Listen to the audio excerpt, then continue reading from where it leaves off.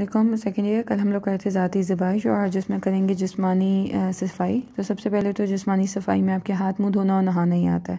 تو اگر ہم صحیح طریقے سے کریں تو ہماری جلد کافی حد تک صاف ہو جاتی ہے، ٹھیک ہو گیا۔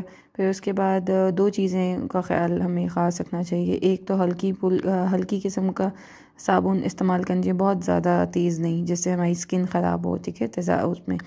اور دوسرا کہ نرم تولیہ، اگر ہم بہت ایسا کھردرا سا لیں گے تو ہماری اسکن خراب ہو جائے گی۔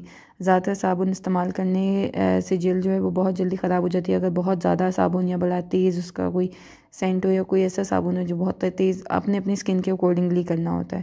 ٹھیک ہو گیا؟ اس دن میں دو یا تین دفعہ ہاتھ منہ دھونا ضروری ہے، کیونکہ کچھ لوگوں کی جلد جو ہے وہ چکنی ہوتی ہے آئلی ہوتی ہے، تو وہ غبار جو اوبیسلی جمنا شروع ہو جاتی۔ ہے تو اگر آپ دھوئیں گے تو آپ کا چہرہ صاف رہے گا۔ ٹھیک ہو گیا، انہوں نے کہا کہ چکنی جلد کے لیے بیسن کا استعمال بہت زیادہ ہے۔ ٹھیک ہو گیا، لیکن خشک اگر جلد ہے اگر آپ کی اسکن ڈرائی ہے تو پھر آپ بیسن کا استعمال نہیں کریں گے، پھر اور زیادہ خشک ہو جائے گی۔ ٹھیک ہو گیا۔ سو ان کے لیے دن میں ہاتھ منہ دھونا مطلب آپ دن میں دو سے تین دفعہ ہاتھ منہ دھوئے، نہائیں باقاعدگی سے۔ ٹھیک ہے، یہ صاف، ضروری نہیں کہ آپ صاف ستھرے رہتے ہو، بلکہ صحت مند بھی رہتے ہو۔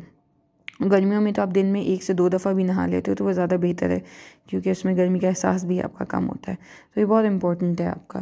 تو یہ چھوٹی چھوٹی سی چیزیں ہیں جو آپ کی گرومنگ میں آتی ہیں، پھر آپ کی بالوں کی جو ہے صفائی اور حفاظت۔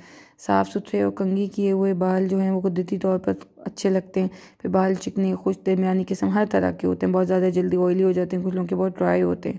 سو آپ نے اس چیز کا خیال رکھنا ہوتا ہے کہ آپ نے اپنے بالوں کو ایک تو صاف رکھنا ہے اور اگر چکنے ہیں تو دھو، دھونا ہے، ان کو عام طور پر نارمل جو بال ہوتے ہیں، وہ نہ تو چکنے ہوتے ہیں، نہ تو خشک ہوتے ہیں، تو آپ ہفتے میں دو دفعہ انہیں ضرور شیمپو وغیرہ لگا کے دھوئیں۔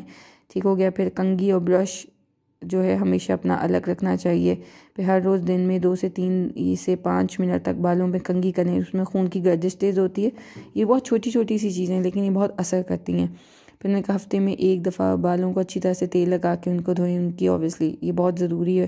اور کیونکہ ہم اتنی زیادہ چیزیں اسٹریٹنگ وغیرہ سب استعمال کر رہے ہوتے ہیں تو اس کے اگینسٹ ہمیں یہ ضرور کرنا چاہیے۔ زیادہ سے زیادہ کنگھی کریں بالوں کو، اس میں خون کی گردش جو ہے وہ آپ کی اوبیسلی صحیح ہوتی ہے تو بال موٹا ہوتا ہے آپ کا اور اپنے چہرے مطابق بال بنائیں۔ اب یہ بہت ضروری ہوتا ہے، کچھ لوگوں کے بال بہت پیارے، بہت لمبے ہوتے ہیں but they the way they carry out is not good میں اگین وہی بات کروں گی تو اس لیے have to be very specific کہ آپ کس طرح سے کریں پھر بالوں کو بالوں کی صحت کے لیے متوازن غذا۔